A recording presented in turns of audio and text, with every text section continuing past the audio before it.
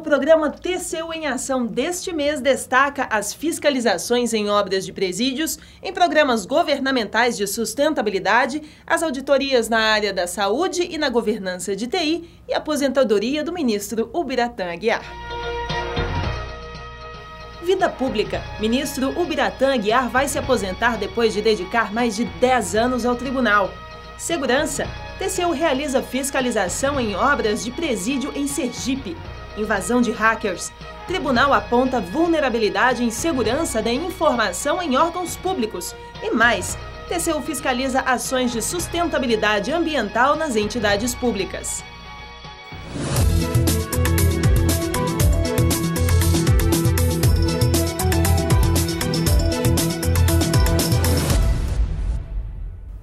Mais de 40 anos de vida pública. O Biratã Aguiar foi vereador, secretário de Estado, deputado estadual e federal, até chegar a ministro do Tribunal de Contas da União. Mas chegou a hora da despedida do TCU, que ocorreu em julho, na qual recebeu diversas homenagens. Além da formação jurídica, da paixão pela educação e do currículo repleto de títulos e honrarias, o Biratã Aguiar ainda se destaca na literatura, música e poesia. Nascido em 7 de setembro de 1941 no município cearense de Cedro, o Biratã Aguiar iniciou a vida profissional como professor de português e de direito constitucional. Formou-se em ciências jurídicas e sociais pela Universidade Federal do Ceará. Além da dedicação aos estudos, o Biratã foi atuante no centro acadêmico, tendo sido inclusive o presidente. A candidatura à Câmara Municipal surgiu naturalmente em 1966, quando foi eleito vereador por Fortaleza. Aí começava uma carreira dedicada aos grandes temas nacionais. Nos anos 70, foi secretário de administração do município de Fortaleza. Logo depois, o Biratã foi secretário estadual de Educação e procurador do Estado. Foi escolhido pelo povo duas vezes para ocupar a Assembleia Legislativa. Depois, foi eleito deputado federal e reeleito três vezes seguidas. Participou ativamente da Assembleia Constituinte e se destacou nos debates sobre a educação. Em 2001, com a aposentadoria do ministro do TCU, Ademar Guise, a Câmara dos Deputados deveria indicar o substituto. Três candidatos disputaram a vaga e o Biratã Aguiar foi o mais votado. A indicação foi confirmada no Senado e, em maio, ele tomou posse como ministro do TCU. Durante os 10 anos em que exerceu a função no tribunal, foi relator de auditorias dos mais variados temas. O ministro Biratã Aguiar sempre foi um incansável defensor das prerrogativas do TCU. Em sua passagem pela Corte de Contas, foi presidente do TCU no biênio 2009-2010 Durante sua gestão, foi criada a Rede de Controle da Gestão Pública e o Cadastro Integrado de Condenações por Ilícitos Administrativos, CADICOM.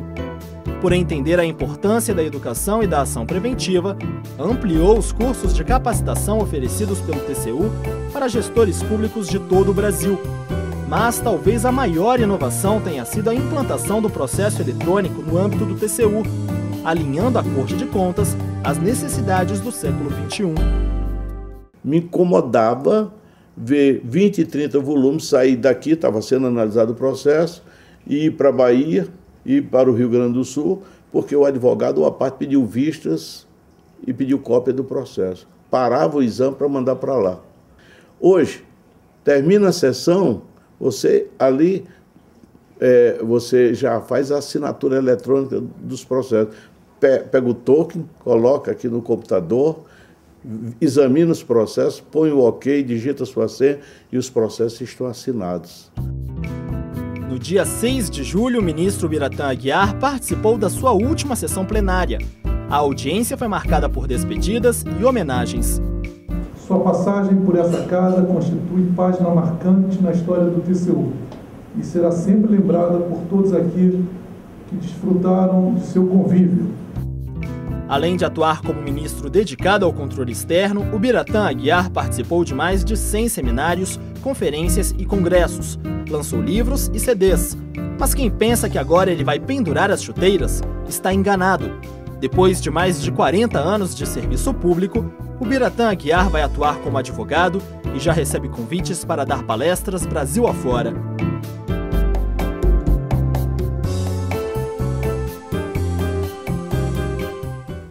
Recentemente, cerca de 200 sites de instituições públicas federais, estaduais e municipais foram vítimas de ataques de hackers.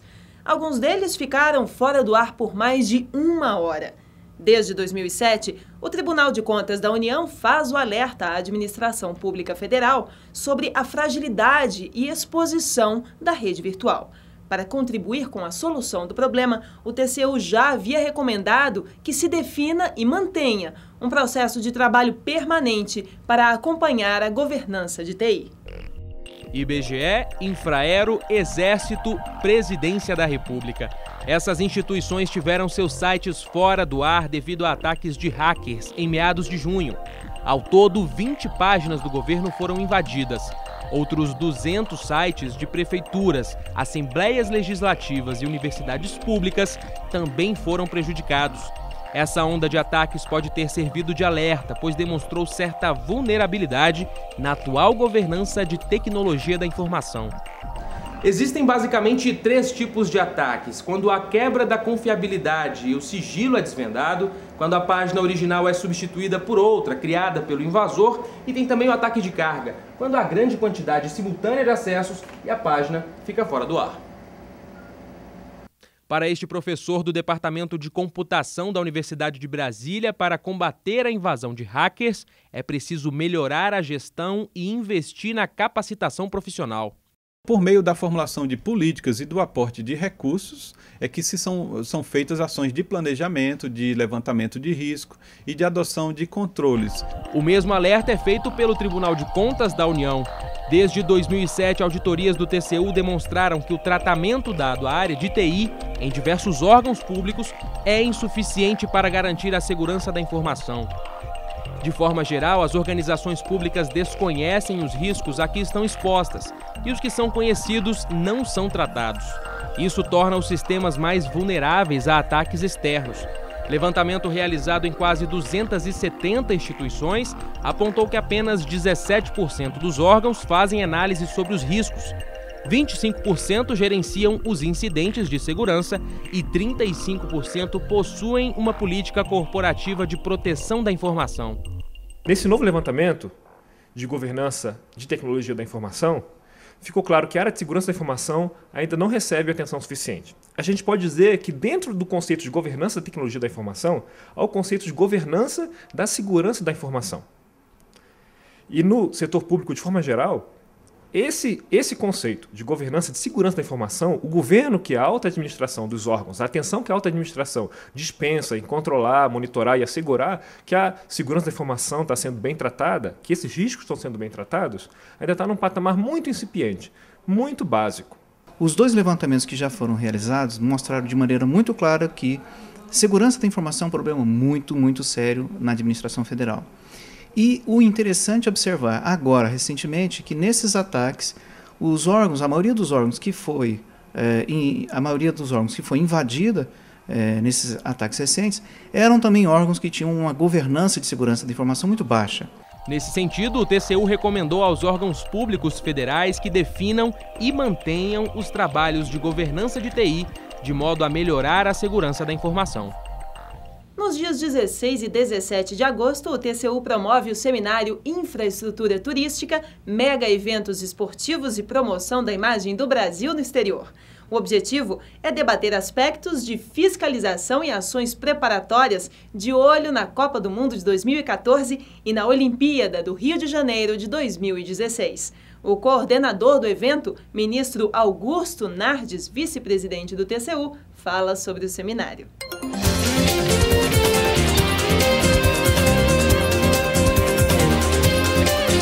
Eu acho que este evento da Copa do Mundo e dos Jogos Olímpicos é o grande momento para que o Brasil possa dar um salto positivo para o turismo internacional e possa criar e gerar empregos através de uma política de turismo. O que, que nós queremos saber? O que, que o país está planejando a médio e a longo prazo? Porque nós temos a curto prazo a Copa e depois teremos os Jogos Olímpicos. E queremos saber como é que está a infraestrutura em relação aos hotéis, em relação aos aeroportos, em relação às estradas, em relação à segurança, que é um problema grave que temos no país. Enfim, queremos fazer um diagnóstico de como é que está a situação com muita antecedência para assim darmos condições de que a imagem do Brasil seja melhorada em termos internacionais. É gratuito e nós estamos convidando todos os segmentos envolvidos e eu gostaria de fazer um apelo para as pessoas eh, fazer contato com o TCU para estabelecer essas inscrições e além disso nós vamos liberar um certificado especialmente para estudantes que têm interesse de conhecer a área de turismo porque vão estar aqui as principais pessoas especializadas de turismo do Brasil.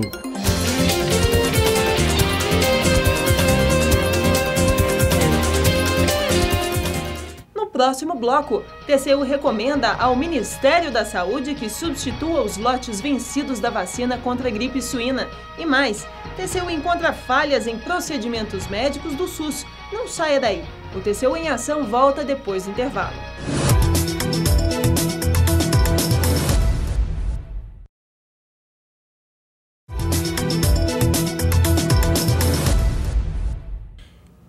Não se lembra do surto da gripe H1N1 em 2009. Naquela época, quase 20 mil pessoas em todo o mundo morreram por causa da doença. Cientistas correram contra o tempo para elaborar uma vacina. O Brasil chegou a comprar mais de 80 milhões de doses e preveniu grande parte da população. Mas uma auditoria do TCU constatou que muitos lotes estão vencidos e cerca de 6 milhões de vacinas podem parar no lixo. Uma pandemia que matou mais de 20 mil pessoas. Em 2009, a evolução do vírus influenza A H1N1, mais popularmente conhecido como gripe suína, deixou o mundo inteiro em estado de alerta. Nos aeroportos, atenção redobrada.